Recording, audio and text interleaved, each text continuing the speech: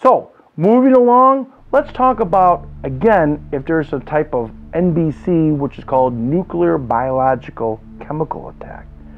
That can really be a problem. So, with that being said, a few years back, the government said there's no need to have gas masks. So now we're getting into crazy land. Don't think so. For around 100 to 125 bucks, you can obtain a professional military grade gas mask to protect you against nuclear, biological, and chemical attacks. Again, something bad happens if you're in an urban area, you want to be protected.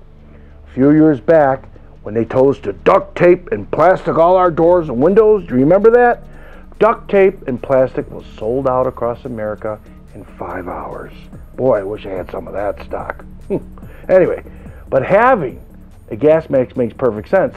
It did to all the Congress and senators because they all have them, folks. Yes, all the politicians across America, in America, have access to these. They say we don't need them as civilians. We shouldn't worry or should we shouldn't panic, but you just don't know.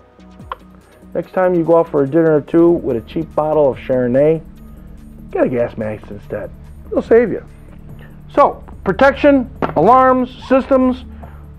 This is what we need to talk about. Having a battery operated perimeter alarm makes perfect sense too. Let's say the lights go out, things happen around the home, no more alarm systems. You're afraid that zombies might be able to break in the house while you're sleepy time. It's great to have a battery operated alarm such as this. I sell these at discreetdevices.com, by the way. If I could plug myself, why not? It's my video.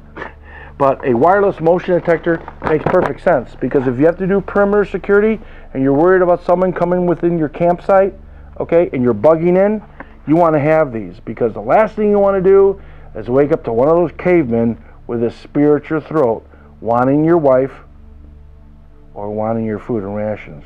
Be careful. Moving along, we've covered a lot of different topics, and I wanted to thank you for allowing me to present Prepping Made Easy for Idiots.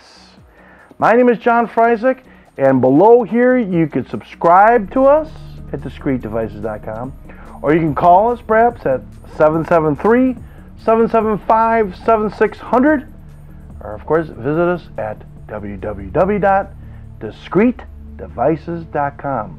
We'll see you in our next segment. Thanks, and be safe out there.